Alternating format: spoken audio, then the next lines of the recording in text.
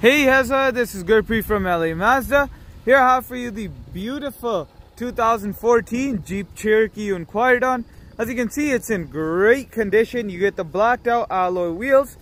You have the beautiful chrome accents on the side. This vehicle does come with a roof rack, which is an extra option, and it's nice that it has it. Taking a look inside, you get heated side view mirrors, power windows, power mirrors, and power locks. You get power seats as well you have a very beautiful center display here with your speedometer and different options you can go through as you can see me here. You have your voice commands and bluetooth controls on the steering wheel as well as cruise control on the steering wheel.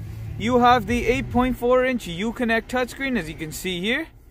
In this vehicle you also get heated seats and a heated steering wheel for the cold alberta winters. You have a terrain selector here as you can see. You're able to choose many different modes.